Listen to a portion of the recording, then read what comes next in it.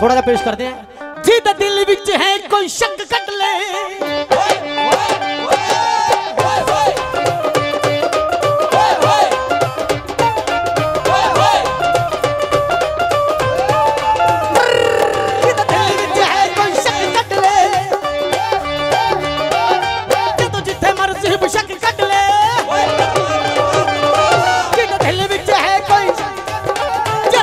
मर्जी बशक कट लें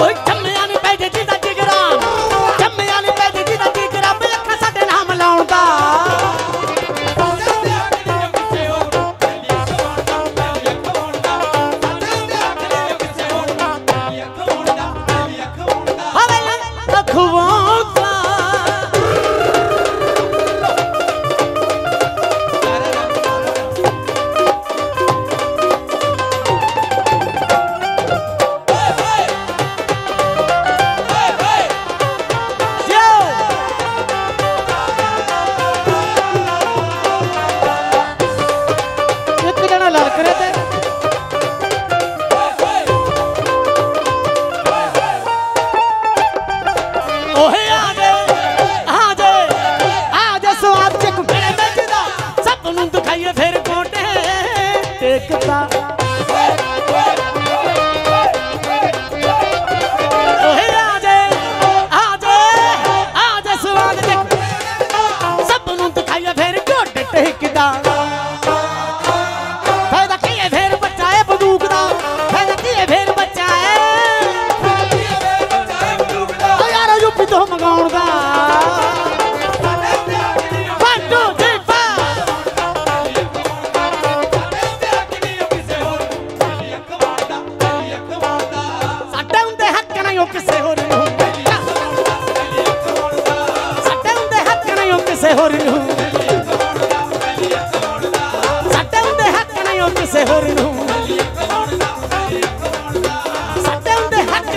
ਕਿਸੇ ਹੋਰ ਨੂੰ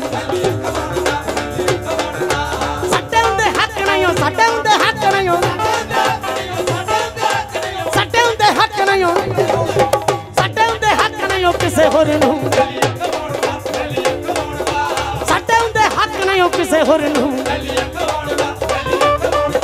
ਸੱਟਾਂ ਦੇ ਹੱਕ ਨਹੀਂ ਹੋ ਕਿਸੇ ਹੋਰ ਨੂੰ ਅਖਵਾਉਣ